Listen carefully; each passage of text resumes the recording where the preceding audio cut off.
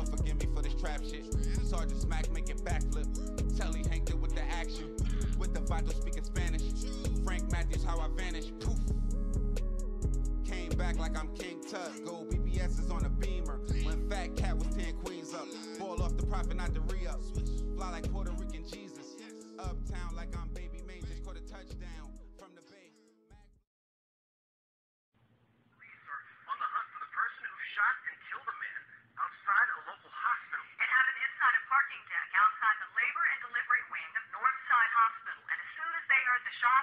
hospital officials put that building on lockdown.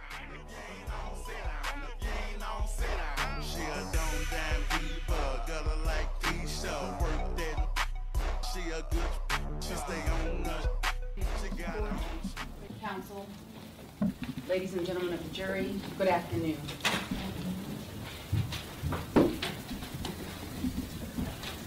Thursday, June 7th, 2007, started as an ordinary day at Northside Hospital Women's Center.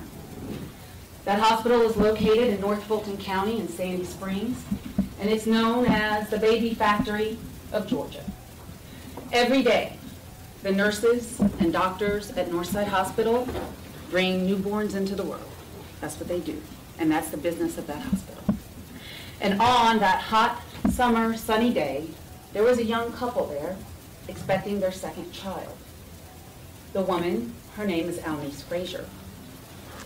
Her fiance, his name was Melvin Vernell III.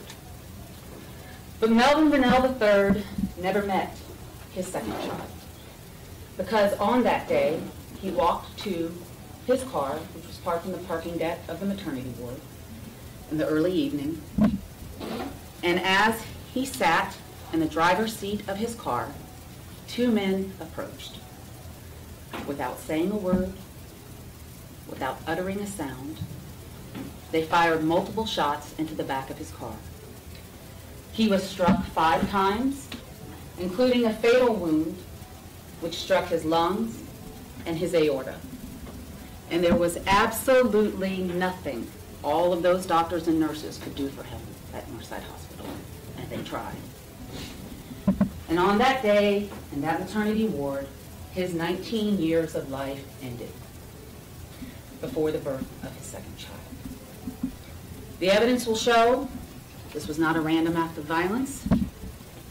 This was not road rage.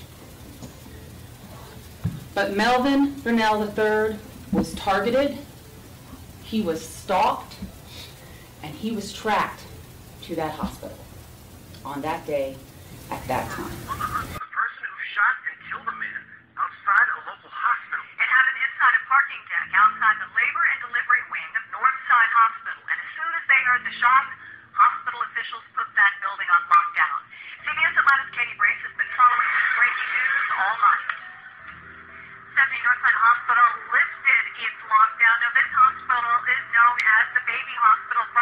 Mike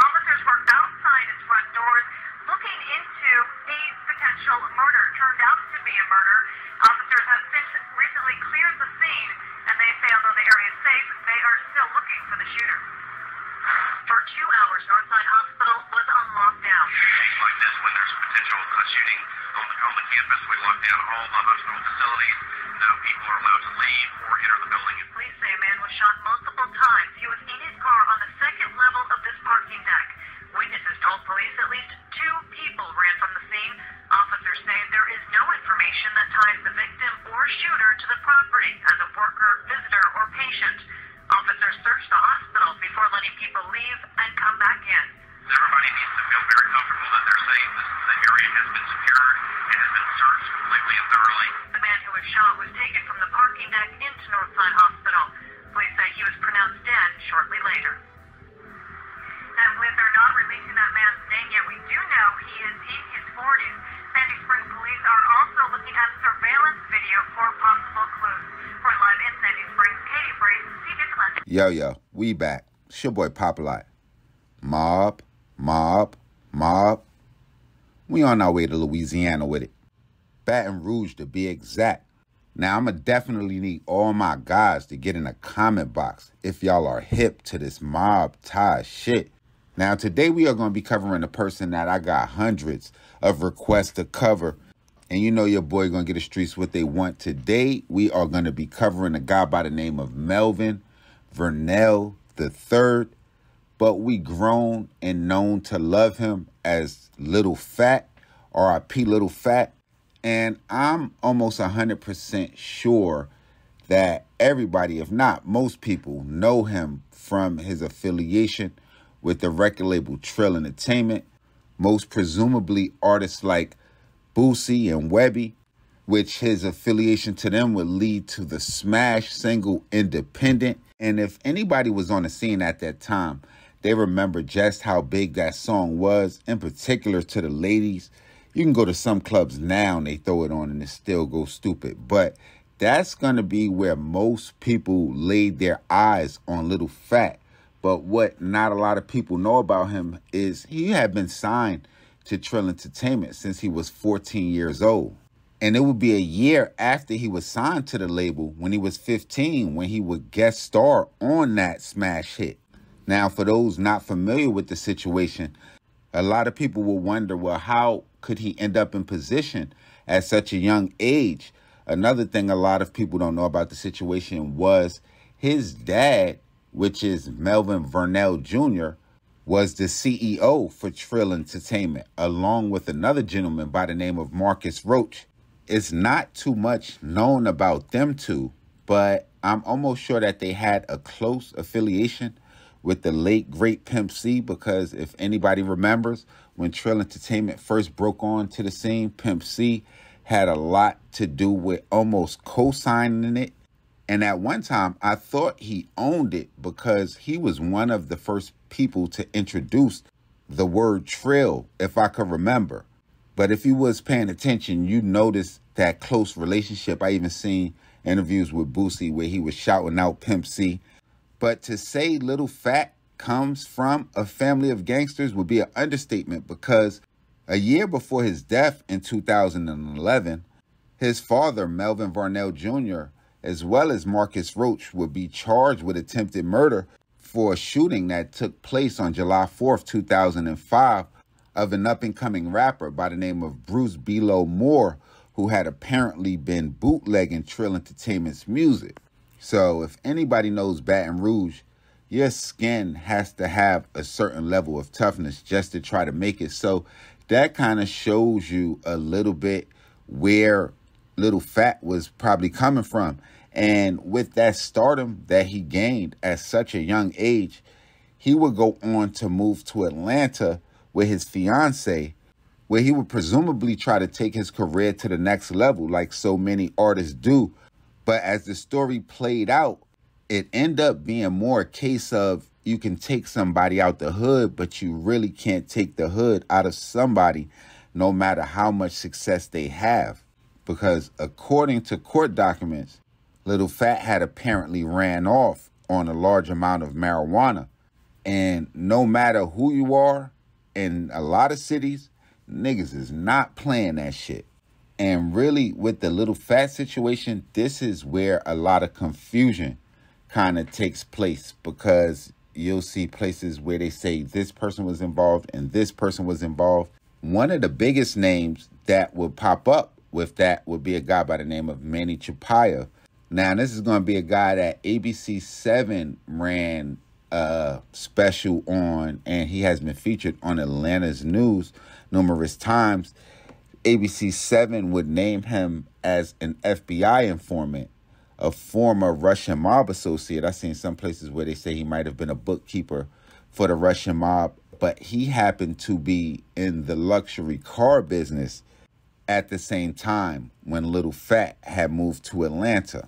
And this is where a lot of the confusion takes place because people would say that Manny Chapayev had something to do with Little Phat's murder the internet would even go as far as to try to link him to Pop Smoke's murder and the theft of a $300,000 Rolls Royce that he was charged with stealing a little bit before his death. I couldn't find no proof or evidence on that, but what was proven was Manny Chapayev had rented an Audi to Little Phat. that Audi was equipped with GPS trackers that enabled Manny Chopayev to track the vehicle anytime he wanted. Now it gets a little bit deeper because that Audi had been reported stolen by someone somewhere else because these vehicles were purchased under like a whole straw purchasing scheme, which is a whole nother mob ties episode. But in my best effort not to confuse y'all, I don't want to get too off track. So, through the series of several confidential informants, authorities will identify a guy by the name of DeAndre Washington, another guy by the name of Maurice Connor, and a well known rapper by the name of Eldorado Red or Gary Bradford. Now, through the course of some investigation, they was also able to identify a guy by the name of DeSensei White, who was real important because what authorities would say that DeSensei White was essentially the marijuana supplier. They would try to connect him and Eldorado Red, and they would also connect DeAndre Washington as well as Maurice Connor through a series of traffic stops on the Alabama border going into Atlanta, as well as GPS positioning them at the hospital when Little Phat was killed. At trial, a jury would go on to find the three guilty of the murder for separate charges. Now, DeAndre Washington would be the only one that was sentenced to life plus 20 years without parole. The other two would be sentenced to conspiracy and participating in criminal street gang activity.